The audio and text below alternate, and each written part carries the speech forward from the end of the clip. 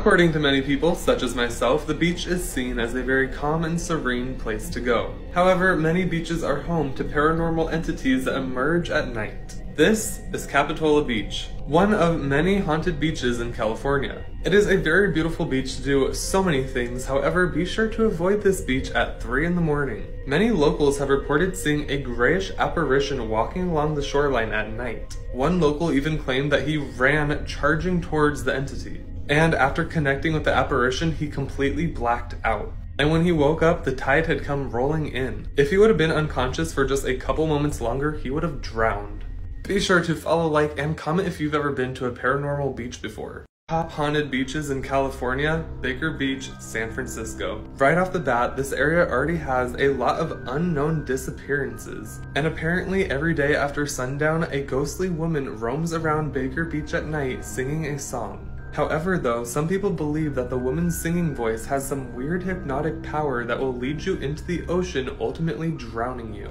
And just recently, a tarot card reader slash psychic just visited the area and believes that the ghostly woman is linked to all these random different disappearances. Don't forget to let me know what you think about this beach in the comment section, and for more creepy content and the rest of the series, don't forget to follow. Stay spooked! The most haunted beaches in California, part 3, Natural Bridges. One of the most beautiful beaches in the Santa Cruz area looking like something out of a calendar. However, do beware going there at night.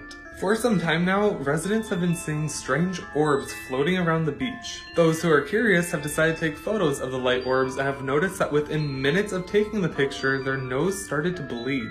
And what's even weirder than that, 90% of those people who took those pictures ended up in the hospital the next morning because of inexplicable hallucinations. Maybe it's just because everybody there does psychedelics. Let me know if you go to this beach down below in the comments and don't forget to follow and like for more creepy stories. Stay spooked! The Most Haunted Beaches in California, Part 4, Manhattan Beach. Rumor has it that if you walk underneath the pier right before sunrise, you'll have a very terrifying surprise waiting for you. Locals have reported seeing dead children crawling out of the water at this time. But, as if it couldn't get even more disturbing, every local who has seen them crawl out of the water say that the dead ghost children start bleeding out of their eyes and their mouth the second their body emerges from the water.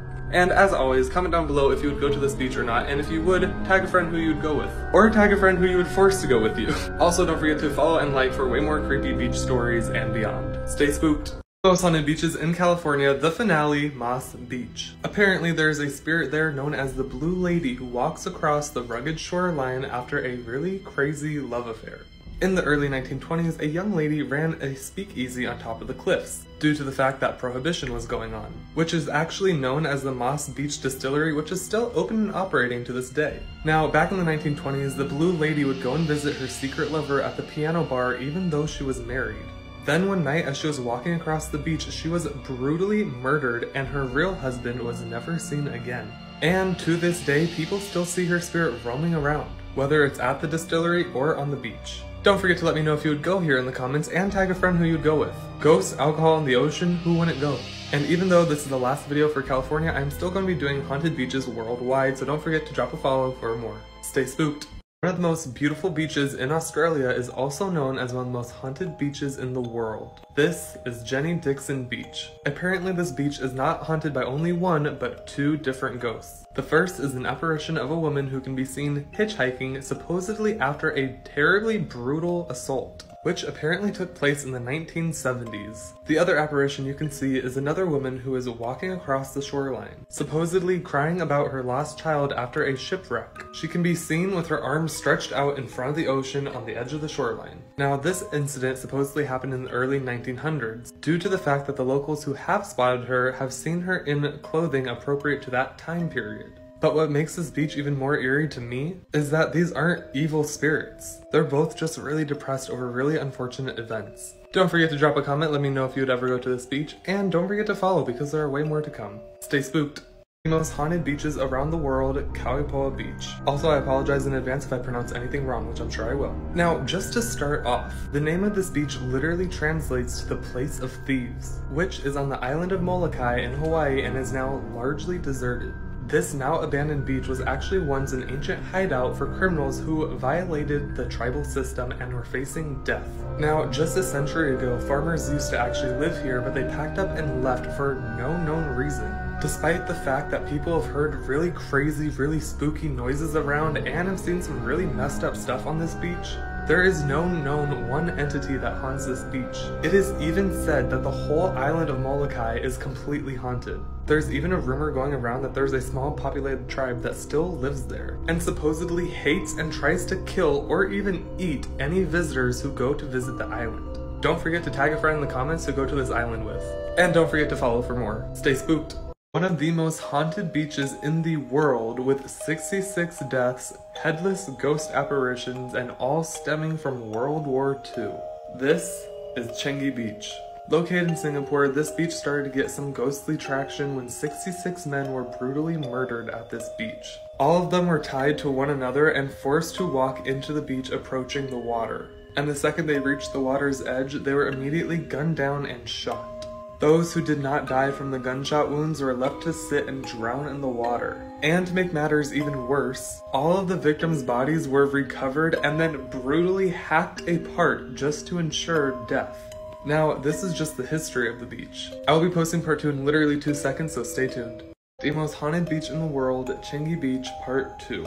And real quick, if you missed part one, I would suggest going to watch it first. Now that you guys know a little bit more about the history of this beach, here's what people have been reportedly seeing and experiencing while at this beach. First off, there have been countless reports of weeping, wailing, crying, and screaming for help in the middle of the night at this beach with nobody else around. There have been the sounds of gunshots echoing across the water. Others have seen puddles of blood form bubbling up from the sand, not to include the many times that people have seen heads bobbing in the water with no bodies, others seeing headless bodies walking across the water, and others have even claimed to see a ghostly reenactment of what happened that night when the 66 men were brutally murdered.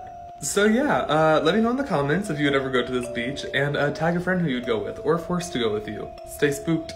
The Bermuda Triangle is known as one of the most mysterious places on Earth, covering over 440,000 miles of ocean and has been the cause of over 75 different plane crashes, disappearances, and hundreds of ship disappearances. Here are some different facts and theories about the Bermuda Triangle.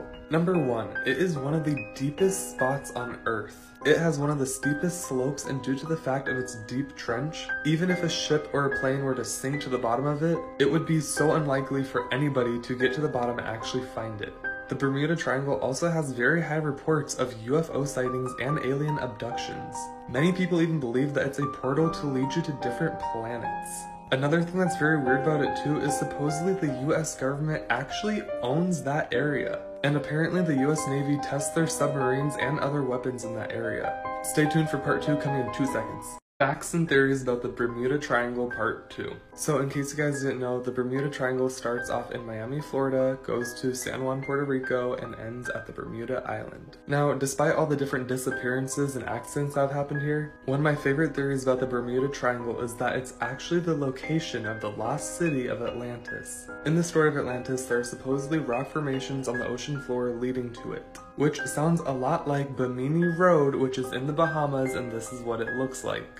The story also goes that the city ran off of these magical crystals that supposedly radiate different energies that will throw off navigational instruments used in planes and ships. What's even weirder is that a mysterious island appeared right in the middle of the Bermuda Triangle. Which is weird because islands nowadays are now actually decreasing in surface area. I don't know, let me know what you guys think down below. Also, there may be a new series on Atlantis coming soon.